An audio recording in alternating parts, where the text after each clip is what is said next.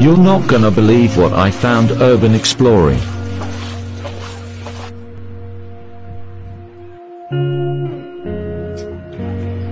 He must have been stuck in the drain for days.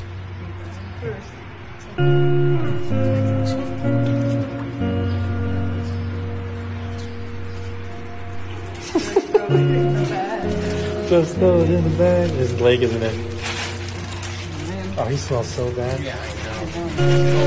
Poor little stinky puffer. You're gonna live. This little guy is so lucky I found him.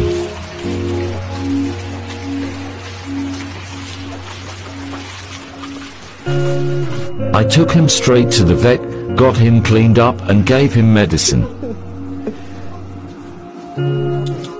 I'd like to introduce Rusty my new puppy.